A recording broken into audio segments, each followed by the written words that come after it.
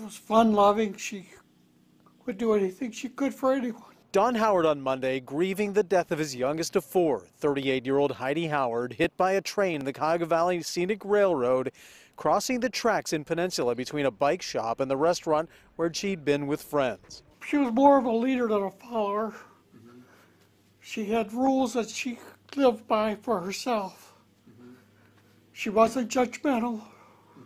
She was always willing to help people. If you were her friend and she was your friend, she'd do anything in the world for you. Howard says his daughter had crossed the tracks to go to the aid of a child who she felt was being mistreated, something that was entirely within her character. She did care about people.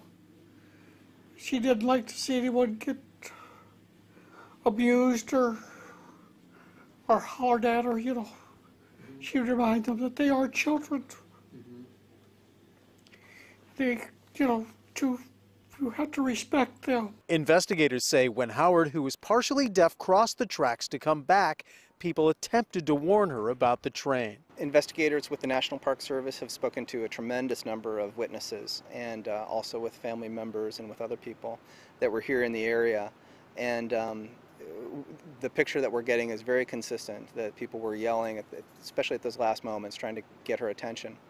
Um, but unfortunately, it was unsuccessful. She had a hearing aid in, that's, you know, but I think because of the location between the restaurant where she was at, the bike shop on the other side, and whistles were constant, uh, being over there, I know the whistles, when the train goes through, it's constantly, you know, blasting, and people are waving, you know, at the train, and people from the train are waving back. Investigators say she may have realized the danger at the last moment. She was a good person and one of a kind.